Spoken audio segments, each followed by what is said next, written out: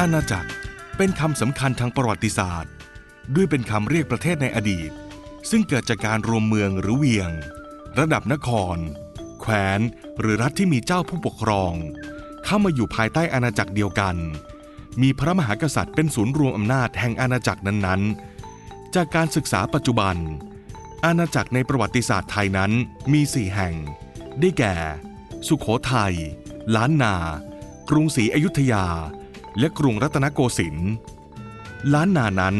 ตั้งอยู่ภายในภาคเหนือกำเนิดขึ้นเมื่อพญามังราย แห่งแคว้นฮิรันครเงินยาง สามารถรวมแว่นแคว้นในบริเวณที่ราบลุ่มแม่น้ำกก แม่น้ำอิง แม่น้ำโขง เข้ารวมกับแคว้นหริพุนชัย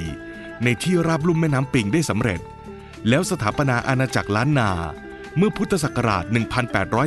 1839 โดยสร้างนพบุรีศรีนครพิงเชียงใหม่ เป็นเมืองหลวงของอาณาจักร กรุงศรีร่วมอนุรักษ์วัฒนธรรมไทย